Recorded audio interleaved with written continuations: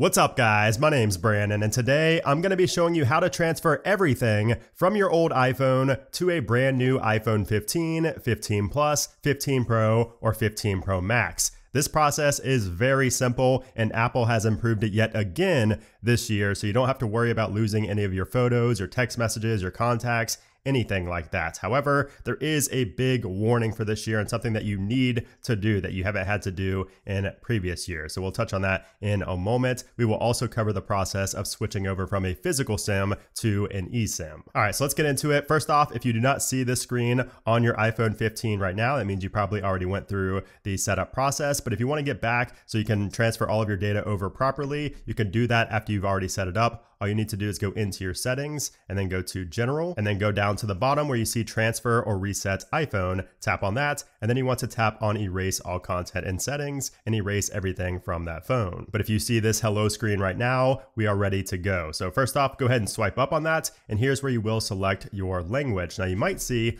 on your old iPhone that this pops up where it says set up new iPhone. I would recommend going ahead and doing that as soon as you see it. However, you might not see that right away, so I'll show you why. So if we go ahead and select our language, you're gonna get the appearance setting right here where you can select how you want your text and icons to show up. I'm going to choose default. And then right here, when you get to quick start, this is where you might notice that your phone is not picking up your older iPhone. Like your, your new iPhone 15 is not picking up, it's not finding your iPhone 14 or whatever you upgraded from nearby. Now you can lock and unlock your device to see if it finds it that way, but it may not work at all. So what you need to do is just set up without a device and then connect to Wi-Fi. And once you've connected to your Wi-Fi, it's going to activate your iPhone. And then here is the cause for your new iPhone 15 not detecting your older iPhone. We need to do this software update right here. So it even tells you it's important. Update your software now if you want to transfer your data directly from from another iPhone. So do not update later. You need to update now. You need to update right away before you can transfer everything over properly. And you can see since I already have this phone updated, the quick start actually finds the nearby device, which is our old iPhone right here. So now you just need to unlock to continue if you see that on the lock screen. And if you don't see this pop up, just lock and unlock your device and it should show up on the lock screen or on the home screen. So now you'll see that we have this little circle orb right here. We need to scan with our old iPhone, the orb on the new iPhone. So we're gonna just hold this up and scan it. There we go. And what this is going to do is start transferring all of our data over. So it says continue on your other iPhone. And then on the old iPhone, you can see it says, who are you signing in to the iPhone? So if you have somebody else on your family, you can select them, but this is just going to be for me. So I'll just get started with it as me. Now it's going to say finish on new iPhone. So now on the iPhone 15, we need to enter the passcode of our old iPhone that we are transferring this data from. It's going to activate the device. So now we need to transfer over our phone number. So whether you have an eSIM or a physical SIM, this works the exact same way. So what happens if you have a physical SIM is that your physical SIM will basically be converted into an eSIM when you go to switch to the iPhone 15 series. But in this case, I'm going from eSIM to eSIM, so it's gonna be even easier. So all you need to do is go to transfer from another iPhone, which is going to be the iPhone you have right here, which you connected to. You can also set this up later in settings if you want to, but I'm gonna transfer right now and you have to confirm that you want to transfer it. And it says once that phone number is transferred to this iPhone, it will stop working on the other iPhone. So let's go ahead and tap on transfer. And now we need to confirm the transfer on the older iPhone. So it says double click to confirm. We're going to double click right there. And that confirms the transfer of that eSIM. And there we go. It says cellular setup complete. And it shows your phone number is now active on this iPhone. And up in the status bar, you can see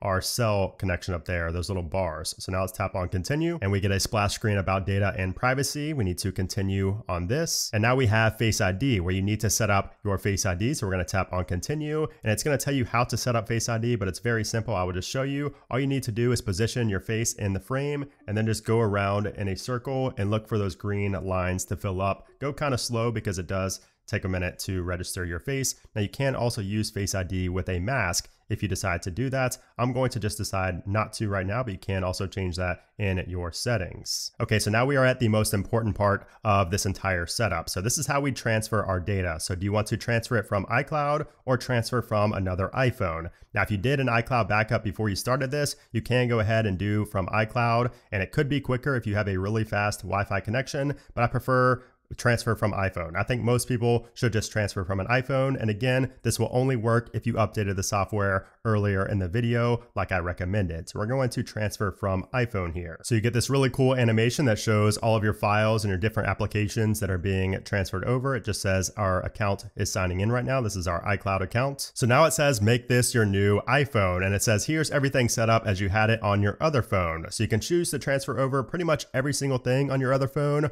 or you can pick and choose choose what you want to be on the new phone. So apps and data, do you want your Siri settings and screen time, all of that to transfer over? You can choose what you want. And then down here, you can go to customize if you want to customize, you know, what you want to be transferred over. But I think most people are going to want everything transferred over from their other phone, including their wallet, uh, you know, their credit cards, along with their connections to their Apple Watches. So we're just going to go to continue and transfer everything over. Now you get the option to update your iPhone automatically. So I would recommend downloading automatically, maybe not installing automatically. So I'm going to do only download automatically. Location services, this is a must. We're going to go ahead and enable that. So now it's going to add our Apple account for Apple Pay, and you may see some other pop-ups for your other cards as well if you need to enter in the CVV code. So I had to add in the security code for two different cards of mine. So you can see there it says card has been added. And now we get a splash screen for emergency SOS. So this will tell us how emergency SOS works. And it's not really a toggle, it's just on by default. So we're going to continue on that. So now it's going to begin transferring the data from your your other iPhone. Now, the amount of time that this takes is going to vary depending on how much data you have on your old iPhone. So I think for most people, it's probably going to range anywhere from 15 to 30 to 45 minutes. Now, at first, if it says it's going to take like an hour or two, just know that it's probably going to be shorter than that. It needs to initiate everything at first, so it's going to give a rough estimate, and then it should go down from there. So I will let you know how long mine takes, and I will be back once this finishes. And also, I would recommend having your phone plugged in or charging while this process is going on. That way, you don't run out of battery in the middle of the transfer process. All right, so we are getting down to the end of transferring our data over, and you'll notice that when it says time remaining about one minute, that one minute usually lasts like five to six minutes. So just keep that in mind. It's kind of like the 1% battery on your phone, how it always lasts longer than it says. But we are wrapping up here and there we go, right on cue. The transfer has completed and it took around 40 minutes for me. And I have quite a bit of data, like a lot of data being transferred over. So yours most likely won't even take that long. And also remember the original estimate overshoots that. So at first it said two hours, then it said it's going to take one hour. And in reality, it only took about 40 minutes. So like I said at the beginning, it's going to take a little bit less time than what it says at first. So on the old phone, we can now tap on continue, and now you get the option to erase this iPhone. So on your old iPhone, while your new iPhone 15 is rebooting and getting all that data set up, on your old iPhone, you will see it now says erase this iPhone, and it will sign you out of your Apple ID, remove your personal data, so this iPhone can be safely traded in or given away. So you can choose to do that now, or you can just select not now and do that at a later point. All right, so our iPhone 15 just rebooted. So now we can swipe up and it says restore has been completed. Let's tap on continue. And if you have an Apple Watch, you might notice it says pair watch with new iPhone. And it asks if I want to use this Apple Watch with the new iPhone 15, which it keeps the name of my other phone, which is 14 Pro Main. So I'll just select continue. And now I would need to put in the passcode for my watch and it will transfer over and kind of set it up on the new iPhone 15. And now on the iPhone 15, it's going to show the silent mode toggle. And this is only if you have a Pro model with the action button on the side instead of the mute switch. So we're going to tap on continue there. And then you will also get the prompt to set up the action button. So if you want to customize the action button, which is going to replace the mute switch, so you can choose to have this set to focus modes, camera, flashlight, and many others. I think most people are probably going to do camera. So you could even select where you want this to open up in the camera. So if you want to quickly open up video by pressing and holding on the action button, you can do that right there. So we're going to set that up to video. And now it says welcome to iPhone. And right once we unlock it, you will see that we have an identical copy to the phone that we just transferred from. So everything from the background, the app location, everything is the same. Now your apps will need to download in the background, but you should remain signed in in all of your social media apps, your mail, all of that. And you can see the notification badges, everything is the same unless something happened on the back end, you know, while you were transferring. So I got a text message while I was transferring. So that's why it shows one more here on my old iPhone. And by the way, if you decided to skip the eSIM transfer, you can do that in your settings after unlocking your phone after the full restore. So all you need to do is go into settings and then cellular. And from here, just go to set up cellular. And then from here, you will get the option to transfer from a nearby device. So transfer from nearby iPhone, and then you go into that and it will transfer from